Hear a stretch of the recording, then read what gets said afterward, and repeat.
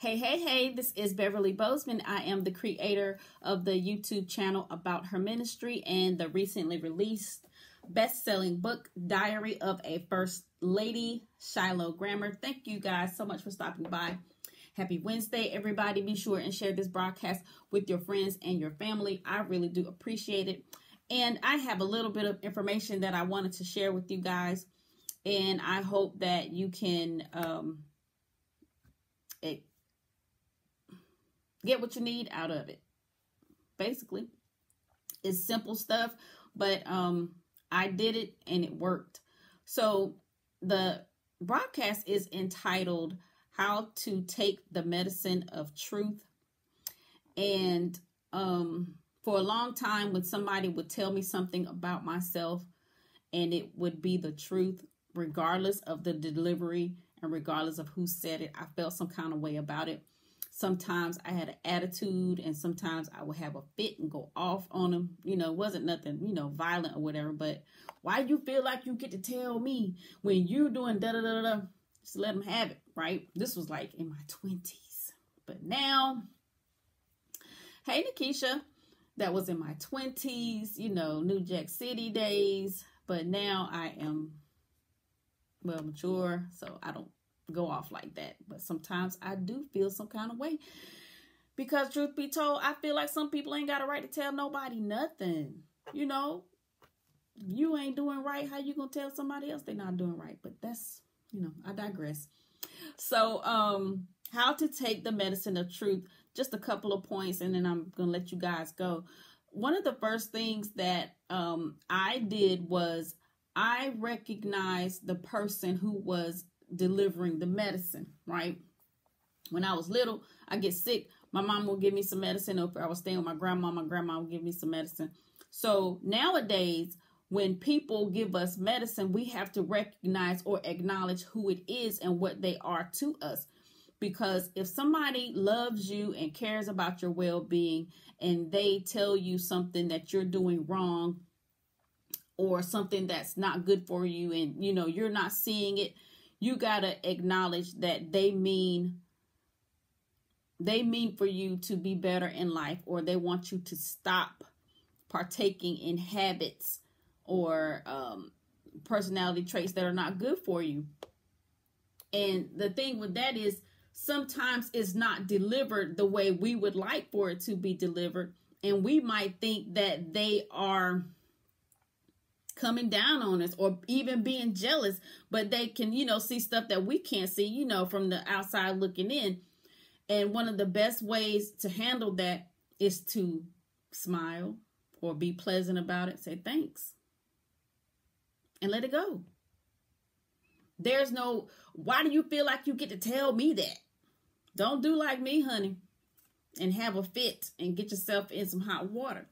Now, the other the other end of the spectrum regarding that is people who don't like you will also tell you the truth.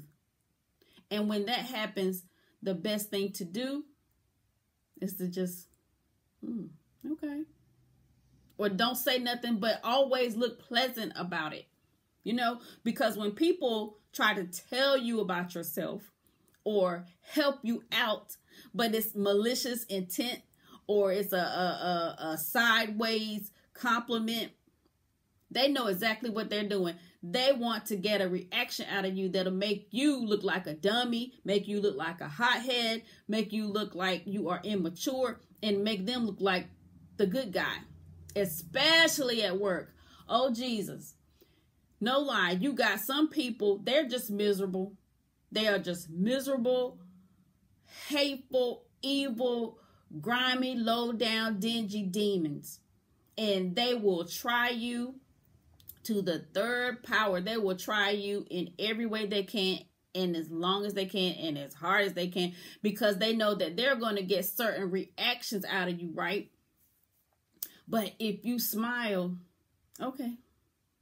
Or just smile and don't say nothing and walk off. Or, mm, you know, don't give them what they want. They don't know what to do. They have no idea of what to do. They will go have to go and take a break and scratch their head. Why didn't that work? Because normally we into it by now. what's what's wrong with her? Why she ain't, you know what I'm saying? She tell me about myself. And and and what they'll do is they'll strategize so that when you are in front of certain people or in front of uh, clients or customers or the email is going to be seen by certain people they'll they'll dig at you. They'll try you and get you hemmed up to where you get ridden up or you get fired or you get demoted or you miss out on an opportunity to get a promotion or you'll look like you're unstable you know? But if you don't respond like they want you to they looking like the dummies they looking like patty batty you don't participate, you just, mm, or okay. That's what it is. So you have to recognize who it is that's giving you the medicine and respond the same way all the time, even if it's a hurtful truth. Because some truths about us, they hurt, regardless of who it comes from, because it might be something you thought you had already overcome, or it was something that you never knew about yourself and it makes you feel bad. Just smile, let it go on, do whatever. Okay. All right. And then the second part, um, or another piece, how to take the medicine of truth is to do like the older people say, um, in the country where I'm from, is you eat the meat and you spit out the bones. And that's plain and simple, just like what you think it is. You eat the meat and spit out the bones or throw away the bones. Take what you need and discard the rest. Prime example if somebody, if you're in the process of losing weight, you have this weight loss journey going on, and somebody say, Girl, I see that you trying to lose some weight. Mm-hmm, you looking good. And I'm glad you're losing weight because you've been wearing some stuff that's not all that flattering, especially in the back, girl. I'm glad you're trying to lose some weight. Maybe you can, you know, get you a man, get some clothes that fit you, girl. But you keep on. You keep doing your thing. I'm proud of you, girl. That's a sideways compliment. That's a backdoor compliment. And they know exactly what it is that they are doing. So to eat the meat and spit out the bones, how that work is recognize the fact that they're checking you out. They're watching you close enough, often enough, and long enough to notice that you are losing weight so keep on keeping on. Now the other stuff about how your clothes fit and uh, maybe you can get a man. Don't even don't even bother with that. Leave that right there where it is. Because nine times out of ten, they ain't got nobody themselves and they scared that you gonna grab up all the single men's. That's what that is or they're in a relationship and they man ain't paying them no attention no how. So they feel bad about themselves and they want you to feel bad about yourself. So just keep up the good work. And it might not be um, a weight loss situation. It could be anything. It could be how you raise your kids. It could be your relationship your marriage the way you keep your house. Some people will give you backhanded compliments anytime they can. Just eat the meat and spit out the bones but still have that same reaction either say nothing or mm, okay, thanks.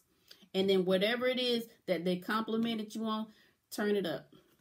Turn it up to 10. Oh, you want to watch me lose weight? Watch this. You think you sick now? Check me out in three months. You're going to be sick all the way to your stomach, honey.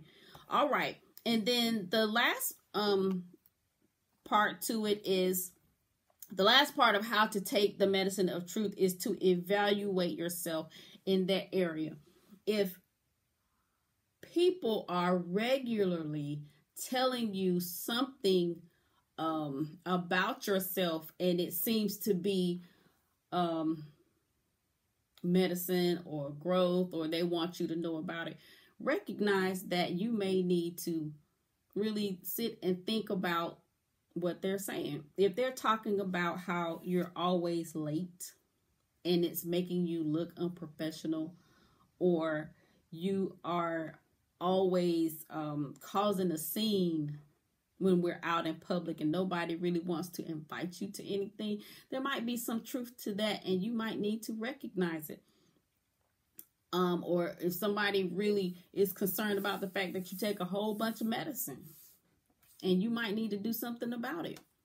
Real talk. Or if your finances or your spouse, if everybody is saying it and they're saying it in a manner to where they want you to be informed and there's love and concern behind it, take a minute to evaluate it and see how much of the truth is really there.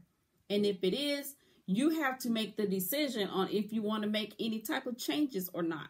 Time ain't slowing down for nobody. You can't go backwards. It'll be this time next year. And if you don't do anything about your situation, you'll still be in it. And it, it's a hurtful thing to be in the same place every year. And then you watch people elevate and, and you recognize the fact that if I had done something back then, I could be further along. That's all. I, I've, I've learned a lot by um, accepting the medicine of truth. So everything that I have just gone over is things that I have had to implement for myself because I kind of got tired of people telling me about myself and giving me medicine. Some of it was some bull. Some of it just, I ain't taking that because that ain't true and you know it. You just want to be seen and you just want to be heard and you want to belittle me. But some stuff was really the truth and I had to evaluate some stuff. And it's it's a it's a life journey. It's a life journey. And um you never stop learning, never stop growing.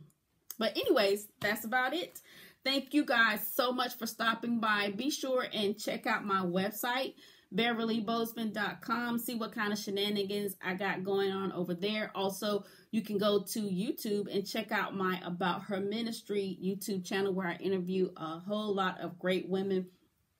Um, if you want to reach out to me, if you have any questions about um, what I just went over or just had questions in general, you can always go to my website, beverleyboseman.com and send me a message or you can just hit me up on messenger. I'll be more than happy to share some information with you. Also if you don't know the lord jesus christ as your savior now is the time to um, give him your life and i'm not trying to have church or anything like that and trying to um, preach at anybody it's just it's just to me my experience is always better to have have God in your life.